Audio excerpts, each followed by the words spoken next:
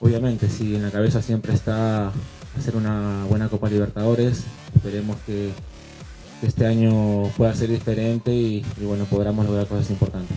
De esta manera, Rinaldo Cruzado aseguraba que uno de los puntos fuertes para este año será la Copa Libertadores. Del mismo modo, se mostró contento por las nuevas incorporaciones en el conjunto blanque-azul para la temporada 2020.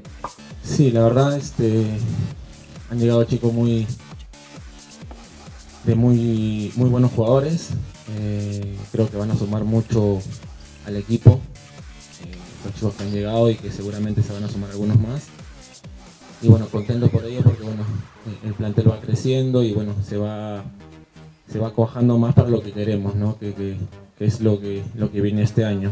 Al ser consultado por su compañero, Luis Ramírez dijo lo siguiente. Y bueno, lo de Cacho, la verdad que sí fue sorprendente, pero bueno, eh, son decisiones del club que, muchas veces no, nos podemos meter, pero obviamente a mí me ha tocado jugar con él en selección y, bueno, desde muy chico también y, en estos últimos tres años y, bueno, siempre él ha, sido un jugador importante, ha sido referente del equipo y, bueno, lo que pasó, como te digo, ya son decisiones del club que ahí nosotros los jugadores no, no entramos, ¿no?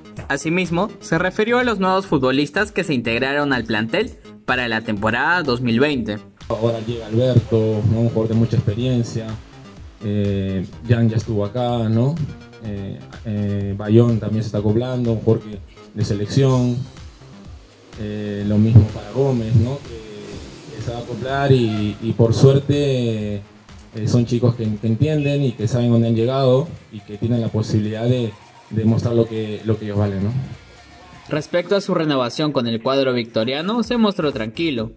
Y bueno, el tema de Alianza creo que era, era algo creo que fácil, yo estaba a la espera de lo que el club decidiera, no, no, fue, no fue un problema arreglar mi tema, era obvio que yo quería quedarme en Alianza, ¿no? Por algo también esperé hasta que ellos decidieran qué hacer conmigo, bueno, gracias a Dios se dio la posibilidad de que yo estoy un año más y estoy muy, muy agradecido con el club.